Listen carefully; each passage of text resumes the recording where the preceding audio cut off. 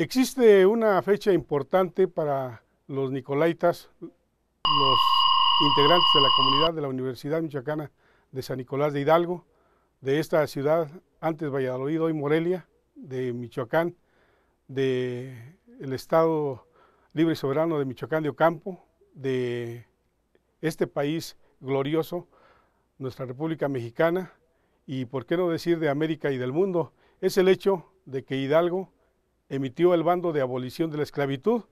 lo realizó el 19 de octubre de 1810 y lo hace a través del intendente Anzorena. Este hecho es de una relevancia mundial por encontrarse en ese escenario libertario. Se anticipó cinco años a Francia, que prohibió la trata de esclavos igual que otras naciones de Europa, 23 años antes que lo realizara Inglaterra, que decretó la abolición de la esclavitud, y 53 años que lo, antes que lo realizara Abraham Lincoln en los Estados Confederados, ahora Estados Unidos, que lo realizó en 1863. Este hecho se celebró en el Bicentenario en el 2010, aquí en Morelia,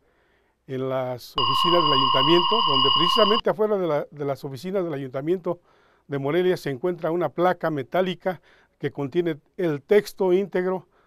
Este, esta placa se colocó en el bicentenario del natalicio de Hidalgo en 1953. Este hecho debemos de conocerlo,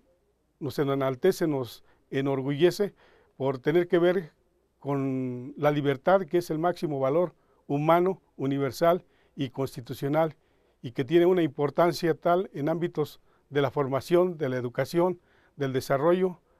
y, de tantos aspectos positivos, pero que tiene que